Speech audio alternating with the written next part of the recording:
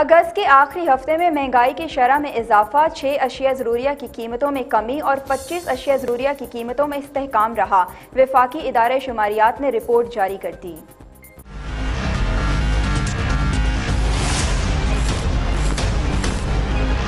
विफाकी इदारे शुमारियात ने महँगाई के हवाले से हफ्तावार रिपोर्ट जारी कर दी। रिपोर्ट के मुताबिक अगस्त के आखिरी हफ़्ते में महँगाई में सिफर अशारिया अस्सी फ़ीसद इजाफा हुआ।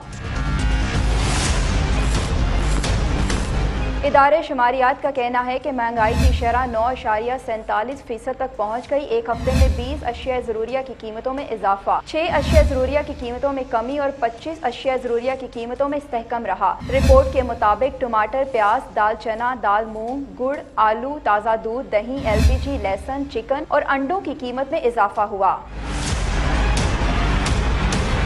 एक हफ़्ते के दौरान चीनी सत्तासी पैसे फ़ी किलो मजीद सस्ती हुई। इलावाजी गंदम, आटा, चावल, केले, दाल मसूर और दाल माश की कीमत में कमी हुई। इसी तरह मटन, बीफ, खुश्क दूध, मलबूसात, चाय, पेट्रोल, डीजल, मट्टी का तेल, बिजली और गैस के निर्ख मुस्तकम रहे। मुजमई तौर पर अगस्त के महीने में महँगाई की शरह में सिफर अशारिया तिरसठ फ़ीसद इजाफा रिकॉर्ड किया गया। अहम अगस्त के महीने में महँगाई की औसतन शरह गुजशत माह से दो फ़ीसद कम रही।